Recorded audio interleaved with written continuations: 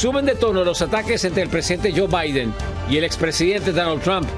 La carrera por la presidencia se convierte en una guerra de declaraciones y amenazas. La batalla política por la presidencia se intensifica. Este lunes el presidente Joe Biden y el exmandatario Donald Trump volvieron a protagonizar fuertes enfrentamientos, esta vez utilizando la guerra civil como instrumento para sus ataques. Desde Washington DC, Alfredo Miranda con toda la información. Mientras el presidente Biden enarbolaba las luchas de la guerra civil estadounidense en contra de la esclavitud, el expresidente Donald Trump dijo que fue horrible y fascinante, para luego añadir, attracted to seeing it. So many mistakes were made. See, there was something I think could have been negotiated, to be honest with you. I think you could have negotiated that.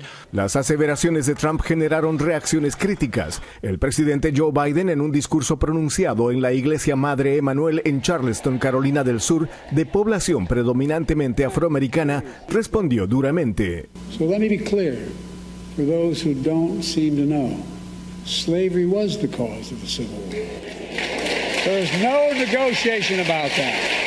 Biden hizo comparaciones entre el 2020 y la guerra civil, cuando dijo que los confederados derrotados no podían aceptar la derrota y en cambio abrazaron la causa perdida de que la guerra tenía que ver con los derechos del Estado, no con la esclavitud. Now we're living in an era of a second lost cause. Once again, there's some in this country trying, trying to turn a loss into a lie.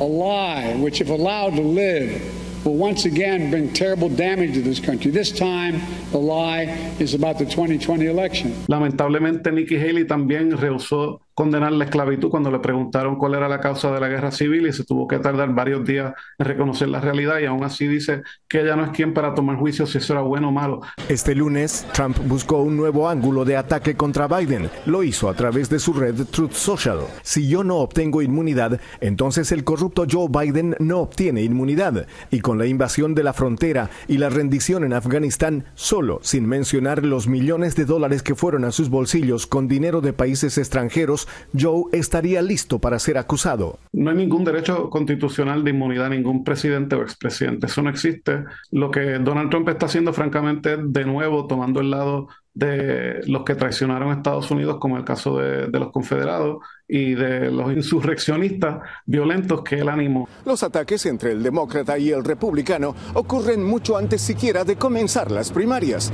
dándose por adelantada una posible revancha electoral por la Casa Blanca entre Biden y Trump.